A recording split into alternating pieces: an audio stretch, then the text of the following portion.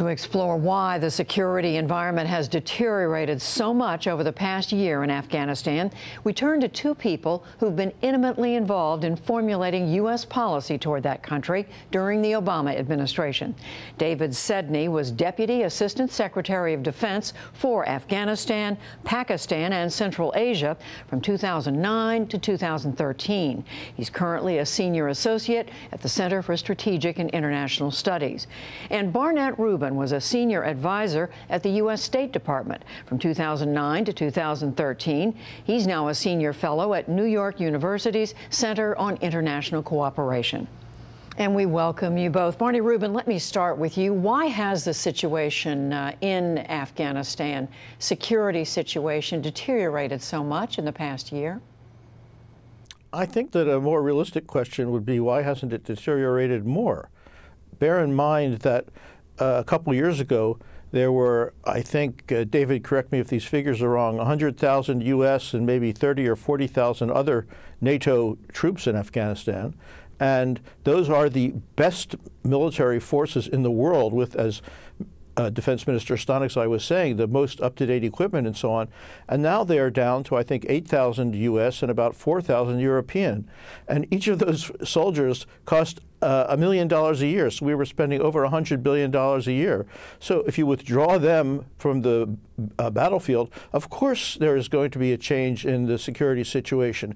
But the fact is that despite the withdrawal of that huge force, the Afghan government and the Afghan military, for all the problems they have, have uh, held on extremely well and have not lost uh, any major population centers. So, David Sedney, is it largely due to the drawdown of U.S. forces? It's partly due to the drawdown. I agree with Barney on that. The uh, Afghan forces have done very well, but we built a large Afghan army, uh, and the numbers are there, and the Afghans are willing to fight. The big problem is, is we didn't put in the enablers that Defense Minister Stanikzai was talking about. Air support, helicopters, intelligence. We ripped those out of Afghanistan before the Afghan forces were ready to operate their own, and we are now paying the price. But the causes go beyond that. Uh, the Taliban have mounted in the last two years since we stopped fighting, uh, we stopped using combat forces, their largest offenses ever. More Afghans are dying today than at any time since before uh, 2001. At the hands of the Taliban. At the hands of the, at the, hands of the Taliban. Uh, this offensive is enabled by sanctuaries in Pakistan, and it is also uh, been enabled by an internecine struggle uh, among different Taliban factions, and with a new factor in Afghanistan, Daesh, the Islamic State, which is seeking inroads there as well. This all adds up to much more violence and many more deaths. Barney Rubin, are these factors that the U.S. should have anticipated, or did they just pop on the scene uh, to everyone's surprise, particularly the Pakistan and the Daesh or ISIS presence?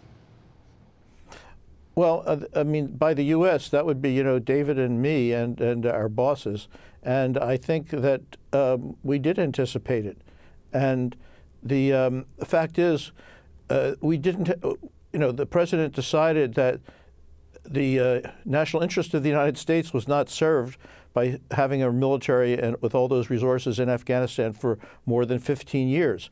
We understood that that would mean a deterioration of the military situation, and that means that it's more important than ever for us to move ahead with the diplomatic and political uh, solution and also with the investment in regional infrastructure, which is just getting off the ground now. Unfortunately, there were some people in our government who thought you could just postpone those things until uh, the military option was successful, but uh, of course that was never realistic. We're paying the price for that partly now, but in fact we still are moving in that direction. And despite the uh, the serious deterioration the increase in violence that David has talked about, again, bear in mind. Uh, possibly taking Sangin district, which you called strategic, I'm not sure why, uh, in, in Helmand province, uh, is a long way from taking uh, the Kabul or any major provincial center. It, it, you mean because of the size and the location of it?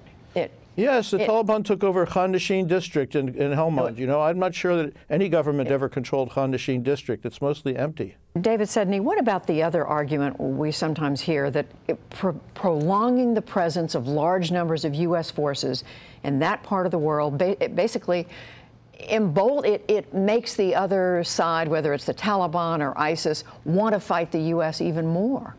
Well, the last two years have proved that wrong. In fact, as we have withdrawn, as Barney said, we had over 140,000 U.S. and other countries' forces there two plus years ago. Uh, we barely have 10,000 there now. As those forces have reduced, the Taliban uh, offensive has increased. The Taliban use of violence has increased as foreign forces have decreased.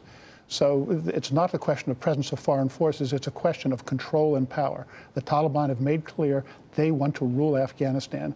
When, Talib when, the Taliban have taken more territory this year, and they have, they have gone out and killed civil society people, they've persecuted women, uh, they've gone back to exactly the same kind of things that they were doing before 2001 that made Afghanistan such a hellish place to live for most Afghans. So, Barnett Rubin, that being the case, what can the U.S., what can the Afghan government do to counter that? Well, uh, we are, first of all, again, to come back to David's most important point, uh, this is not just a conflict between the Taliban and the Afghan government. It's a regional conflict, and particularly uh, the basic source of it is the conflict between Afghanistan and the state of Pakistan. The Taliban would not be able to mount all these offensives and so on, though they would exist and they would have to be dealt with politically, um, if they did not have undisturbed sanctuaries in Pakistan. And there are reasons for that, other than Pakistan being evil or terrorist supporting. Pakistan has certain interests in, in the region, and we are now trying trying to address those diplomatically, it's extremely difficult. We have to have enough forces on the ground in Afghanistan so that the situation remains uh, relatively stable to give us the space to do that uh, diplomatic work. We're now getting much more support in that work from China and so on. So I think that the focus on, that the media have on the back and forth of uh, controlling 100 meters there and 100 meters somewhere else in different remote parts of the country is missing the point. The main weakness on the Afghan government side is not whether their forces can fight the Taliban, it's the political uh, divisions within the Afghan government, which have which sometimes undermine the forces. And on the other side, the main issue is the Pakistan, is Taliban's sanctuary in Pakistan, not how strong or angry they are. David Sedney, how do you see what the U.S. and others need to do to turn this around? I agree that the eventual aim is peace, and ideally that would be peace talks with the Taliban. But in the meantime, the Taliban offensive has to be stopped. German Defense Minister de Maizière, when she was in Afghanistan last week, acknowledged that the NATO U.S. withdrawal had been too hasty and ill prepared and pledged that Germany would increase by over 15% its troops in Afghanistan. Just today, Turkish Prime Minister Erdogan, meeting with, Prime, with, with President Ghani, uh, pledged that Turkey would keep its military presence and work for peace through strength. We need to reverse the mistakes we made in the past and give the Afghans the help that, Prime, that uh, Defense Minister Stanikzai asked for earlier in your program. Otherwise, people will die well before peace talks have a chance to start. So if 5,500 troops into 2017 is not enough, what's the right number? There is no real right number, it's right capabilities. We don't need combat troops there. We need the enablers that Defense Minister Stanikzai asked for. Air, uh, the Afghans need air support, intelligence support, logistics support, and well-trained advisors. A few years ago, we disbanded the group uh, that the Army had, the U.S. Army had created to train uh, people on how to build other countries' armies. So we are now sending advisors to Afghanistan who just unfortunately don't know what they're doing. We need to give the Afghans the help they need. They're ready to fight. We don't need combat troops, but they do need our help.